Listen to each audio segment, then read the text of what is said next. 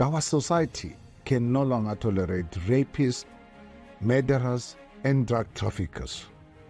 This week, Action SA launches our nationwide campaign to share our solutions to combating crime and corruption in South Africa. It is clear that the criminal justice system is failing law abiding South Africans. Instances of rape, murder, and violence have become widespread.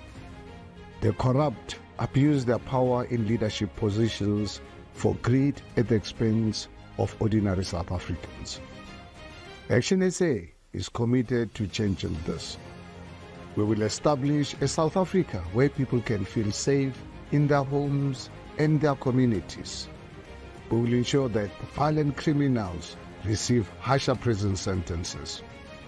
We will remove the possibility of parole for those found guilty of multiple rape and murder charges. Life in prison should remain life in prison. We will empower the NPA to employ more prosecutors. This will help speed up criminal investigations and result in more convictions. We will restore respect for the rule of law at all levels of society by eradicating lawlessness.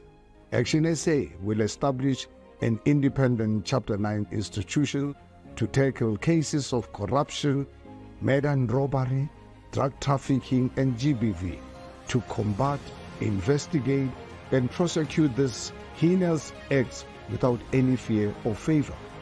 We will provide immediate security protection to whistleblowers after exposing corruption.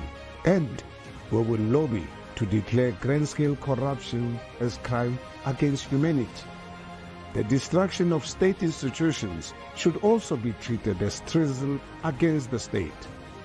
Action SA envisions a South Africa where its people are safe and justice always prevails. Achieving this is only possible if we vote to fix South Africa and vote for Action SA on the 29th of May 2024.